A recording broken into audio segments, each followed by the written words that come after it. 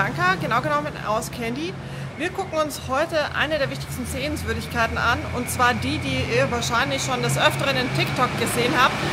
Das ist ein Turm. Ich habe ein bisschen Höhenangst. Ich habe ein bisschen Angst davor. Ich bin sehr gespannt, wie es abgehen wird. Und jetzt kommt erstmal unser Tuk-Tuk mit dem Valet Parking, das das Hotel ein bisschen irritiert hat. Da kommt's gleich. Unser Tuk-Tuk.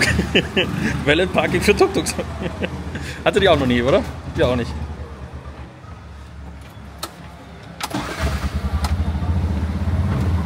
Hi. Tuk-Tuk fahren ist wie Rasenmäher fahren, nur ohne, dass man mäht. In Sri Lanka gilt übrigens Linksverkehr. Anfangs ist es ein bisschen kompliziert, aber dann, wenn man einmal drin ist, ist das super einfach. Offiziell darf man mit dem Tuk-Tuk 40 km/h fahren. Während unserer einmonatigen Reise im Sri Lanka wurden wir jedoch nie von der Polizei kontrolliert. Man sieht öfter mal Straßenkontrollen, aber die interessieren sich weniger für die Touristen.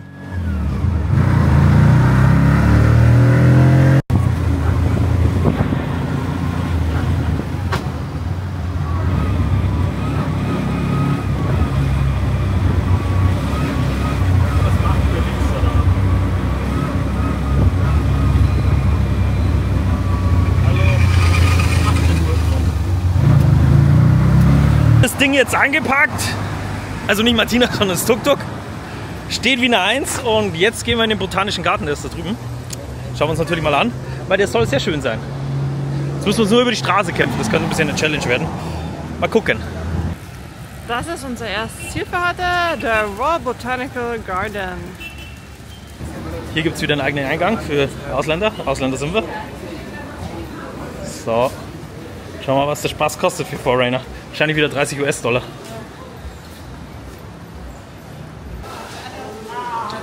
...3000 Rupien kostet das, also jetzt um die 8 Euro.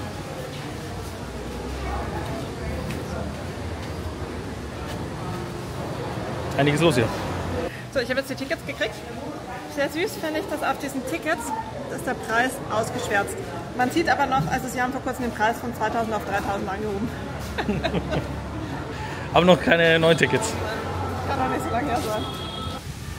Also, wir sind jetzt hier im Botanischen Garten. Das Wetter ist super. Wir haben so, ich schätze mal 27 Grad, leichten Wind und keinen Regen. Die letzten Tage war es eher regnerisch, war jetzt nicht so cool. Aber jetzt, heute, gibt euch das geile Wetter. Strahlend, blauer Himmel, der Wind bläst. Herrlich, oder? Ja, traumhaft. Ich hoffe, es bleibt so. Jetzt kann ich euch ja verraten, warum wir im Botanischen Garten sind. Ich wollte hier Martina aussetzen. Ich hoffe, dass ich irgendwo einen Affenrudel finde, mit dem da Martina mitziehen kann. Also über Kokospalmen und sich wohlfühlt dann, ja. Weil Martina ist sehr gerne in der Natur und deswegen will ich sie nicht weiter gefangen halten. Du meinst jemand, der das Niveau ein bisschen hebt? Nein, nicht das Niveau, nicht das Niveau. Nein, nein.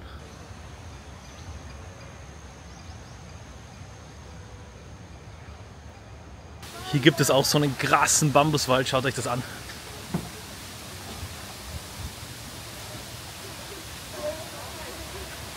Wirklich beeindruckend hier mitten im Bambuswald zu stehen.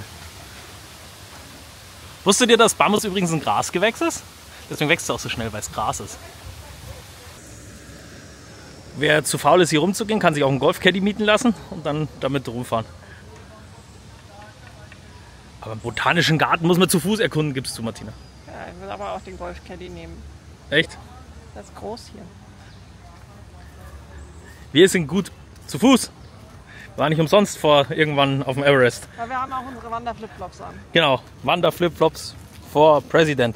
Dam- Damit sind wir schon überall hingegangen tatsächlich. Also ich habe schon so im Flipflop so 20 Kilometer am Tag gemacht. Easy. Ein Einheimischer verschleppt mich jetzt gerade in den Dschungel. Ich will mir jetzt was zeigen, wie er hochklettert. Schau mal.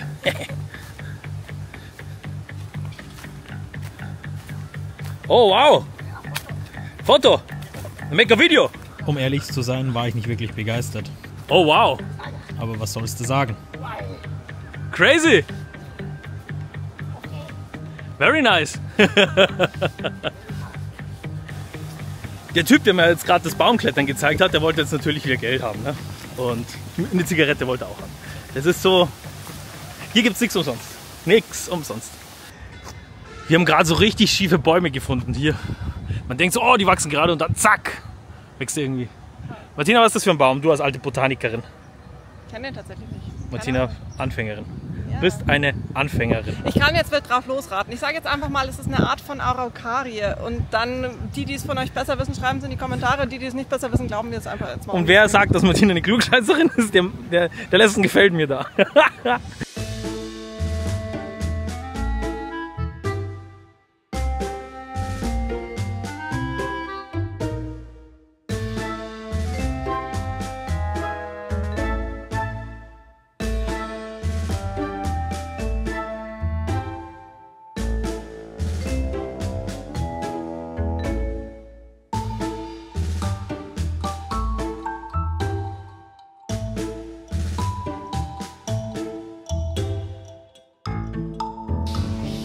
wir gehen jetzt gerade so hier durch und erst dachten wir, dass die Affen so schreien.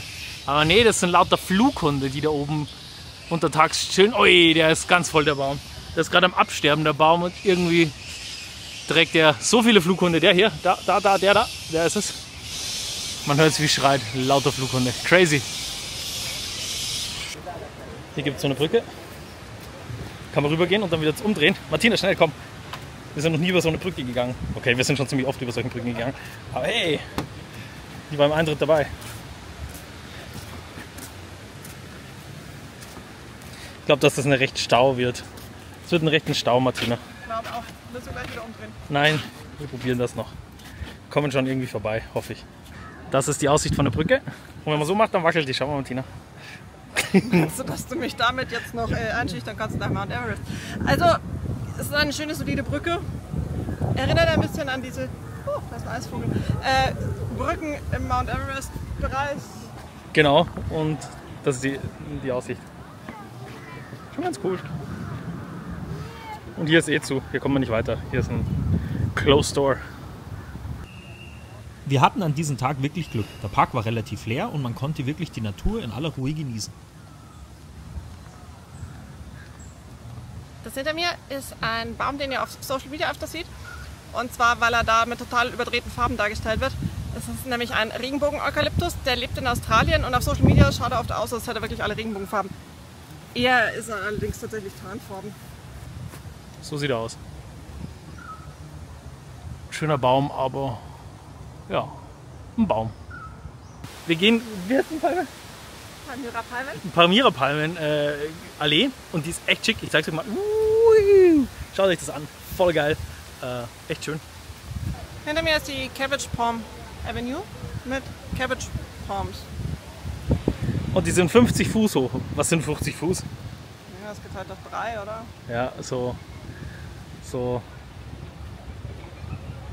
18, 17 Meter sind die Dinger hier hoch. Sind echt sehr piktoresk. Das erste Gewächshaus ist das Kaktushaus.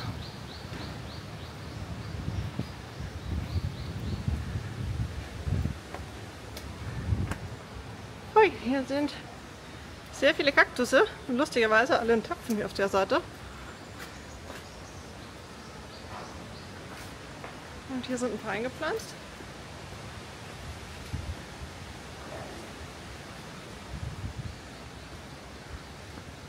Ja, nette Kaktussammlung. Oh, da blüht einer, da blüht einer. Da, der ist niedlich. Da.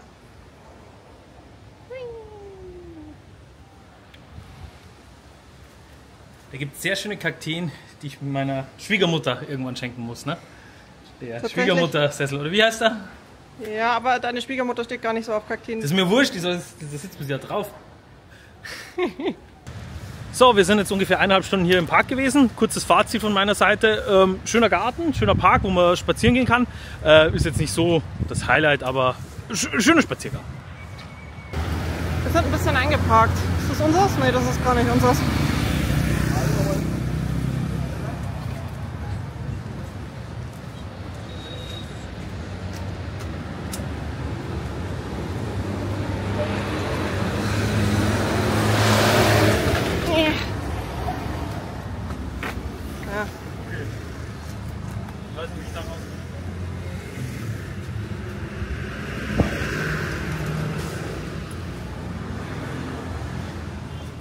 Das wird spannend. Tiden. Ja, Ich-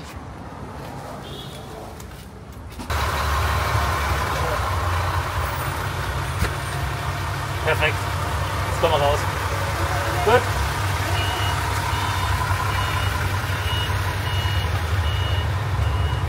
Gut. Super.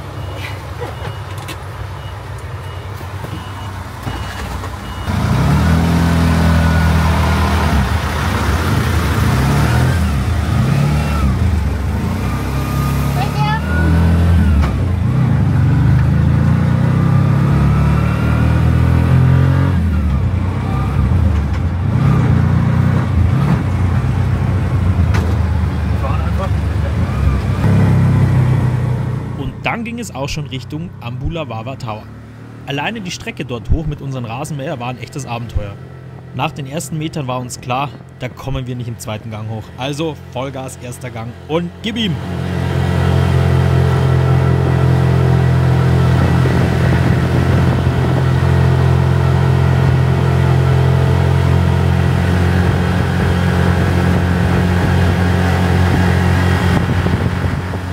Zugegeben war die Strecke dort hoch mit dem Tuk-Tuk nicht wirklich easy. Man musste relativ viel kuppeln, schalten, erster Gang Vollgas, dann wieder erster Gang neu einlegen, zweiter Gang Vollgas. Ähm, ja, das ging irgendwann auf Dauer aufs Handgelenk.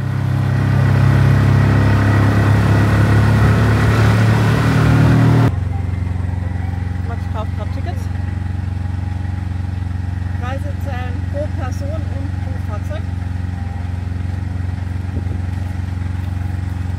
Erwachsene kosten 1000, Kinder kosten 500 für Ausländer, die jetzt nicht aus diesen Nachbarstaaten hier kommen. Ab 1.1. werden die Preise allerdings angehoben auf 2000 für Erwachsene und wahrscheinlich dann 1000 für Kinder. Und die Fahrzeuge kosten nochmal extra. Das ist 50 für den Roller und äh, für Kleinbusse und Autos 200. Und äh, wer mit einem großen Wohnmobil oder einem Lastwagen oder einem Bus kommt, der muss nochmal 300 oben drauflegen. Herrin werden diese Benziner. Ah, nicht besser. Wir fahren gerade äh, irgendwas zwischen ersten und zweiten Gang da hoch. Kurz bevor es so richtig steil wurde, stand ein Polizist an der Straße, der uns aufklärte, wie wir zu fahren haben. Anscheinend kam es in der Vergangenheit immer wieder zu Problemen bei der Abfahrt, weil Leute nicht die Motorbremse genutzt haben und die Bremse dann irgendwann versagt hatte.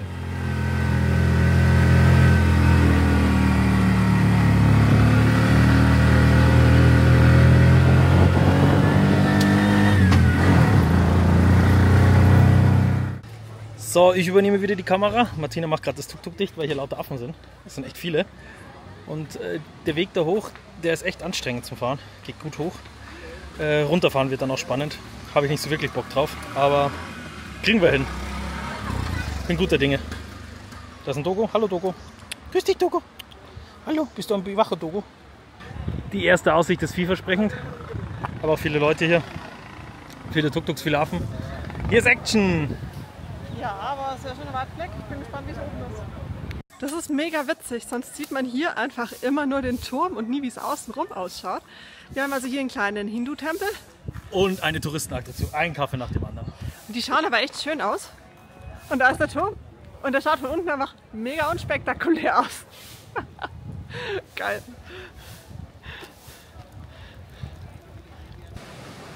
Hier ist auch noch eine Mini-Variante. Die ist nicht so hoch. Und dann noch eine ganz niedrige Variante. Und hier ist der Eingangsbereich vom Großen. Ein Aussichtspunkt für alle, die nicht hoch wollen. Und? Turm. Ja, Turm. Emilian, freust du dich schon aufs Treppensteigen?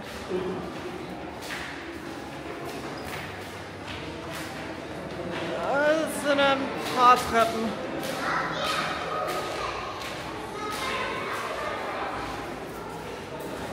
Und so geht's darauf. Da kommen schon gerade verdammt viele Leute nach unten. Das ist gut. Sind sie, sind sie nicht mehr oben. Und sie alle runterkommen. Tina ist gerade am Packen. Und wir nehmen euch jetzt mit auf den ganzen Treppensteig hier. Ne? Are you ready, Martina? Noch nicht ganz. Go, go, go, go, go. Survival Tina. Mein Convertible hier. Dauert noch mit dem Convertible. So ein Cabrio, liegt sich auch nicht in einer Minute. Das heißt, die auch nicht zerlegen, sondern zusammenbauen.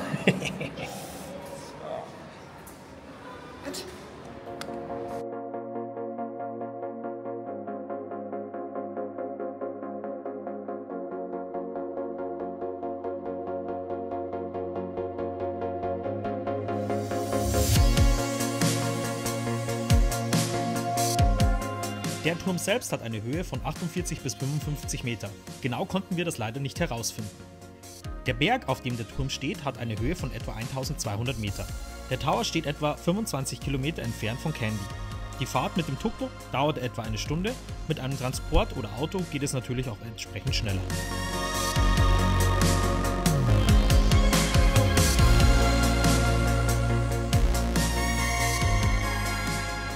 Hier oben ist echt wenig. Ich habe jetzt mal Cap auch runtergetan, weil der Wind echt krass geht. Man hört es, glaube ich, auch im Mikrofon. Und jetzt sind wir quasi auf der ersten Stufe und die Aussicht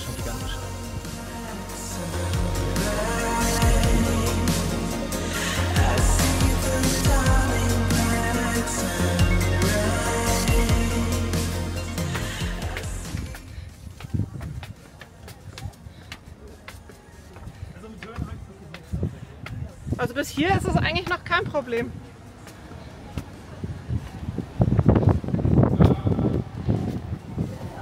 Ups. Ah.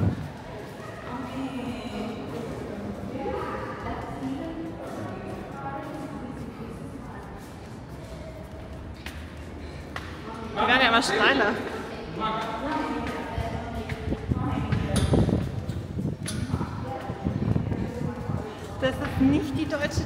Treppennorm hier.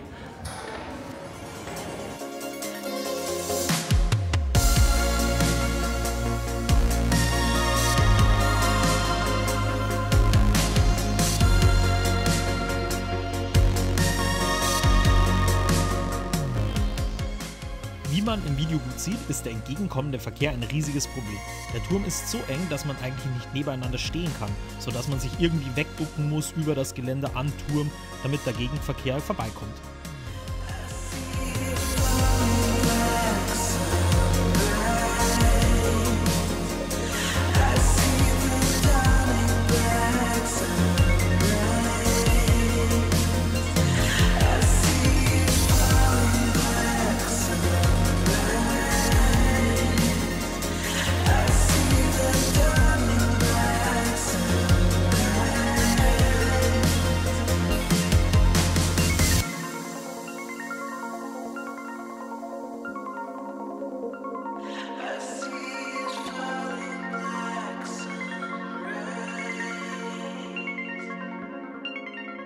Kann gerade nicht nach oben gucken. Das ist tatsächlich für mich gerade schlimmer als runtergucken.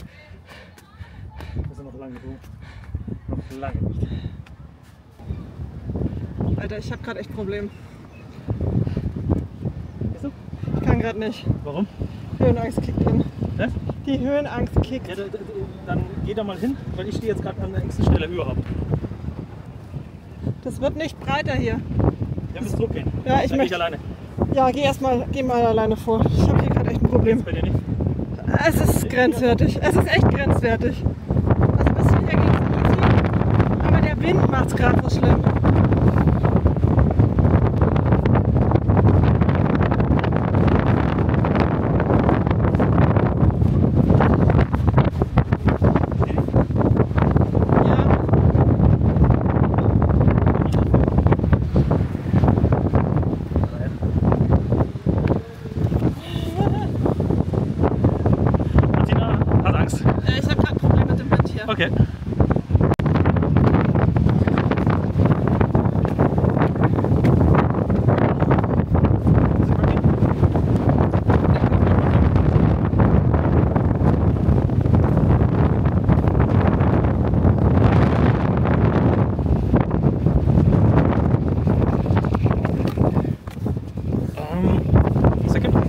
Go there.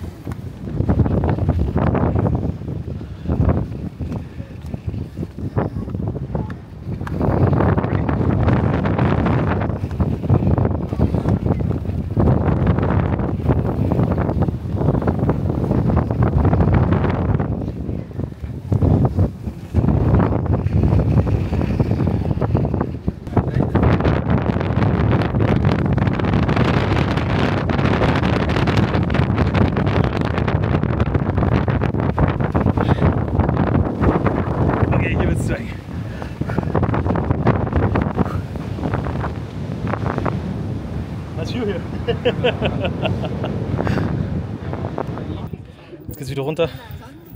Das ist tatsächlich nicht so easy hier.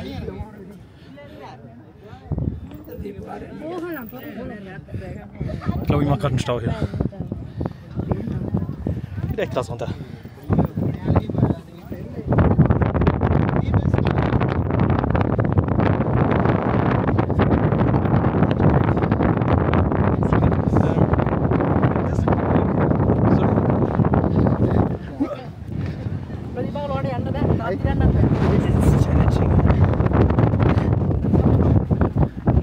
Crazy.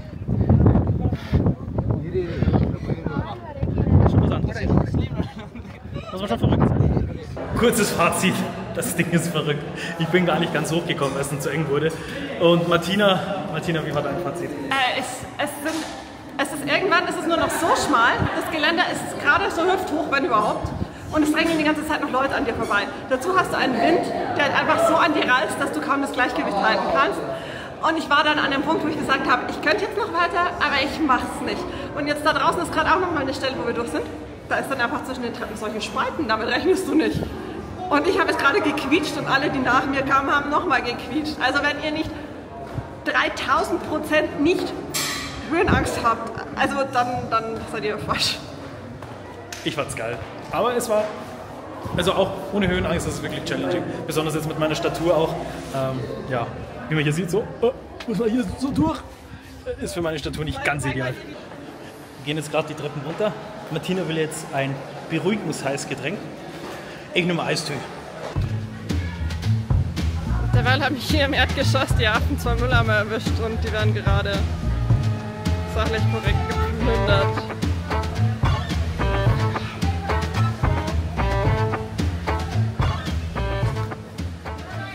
Das Fazit zu dem Tag. Ich finde es ganz cool, dass man hierher kommt. Man kann auch hochgehen. Aber ich weiß nicht, ob es jetzt wirklich ein Highlight ist. Es, ist, es wird, glaube ich, mehr gehypt, dass es eigentlich re- gerechtfertigt wäre. Weil, Martina, Also, der ist schon eine Mutprobe, aber was ich dazu sagen muss, ist, er ist halt echt so eine Safety Hazard. Also ich weiß nicht, was da. Der ist 2006 eröffnet worden und tatsächlich von einem Minister hier gebaut worden. Da war definitiv kein TÜV Süd, kein TÜV Rheinland beteiligt, weil wenn da oben eine Panik ist oder irgendjemand einfach nur blöd schubst, was sie sagen will, wenn da oben was passiert, sterben alle. Das ist, das ist de facto der Fall. ist so. Genau, also wenn man da sich an einem vorbeisneaken muss, das Geländer geht ja bis zur Hüfte, muss sich nur blöd drüber beugen, dann fliegst du runter. Ist so. Punkt. Das ist ein bisschen wagemutig, vielleicht auch ein bisschen blöd da hochzugehen, wenn man ehrlich ist, aber ist es schon cool irgendwie. Gleich haben wir es geschafft! Ja, nach dem Hochkommen ist nämlich auch das Runterkommen eine Herausforderung. Erster Gang, erster Gang. Schafft das? Der erste Gang.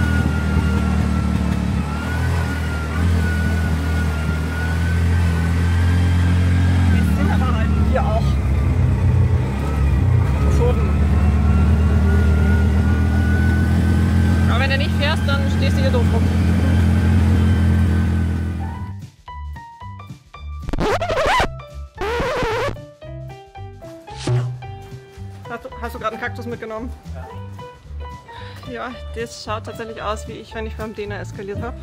Gibt es jetzt wieder eine Innentreppe? Ja, für Die ist ja noch schlimmer als die Ast.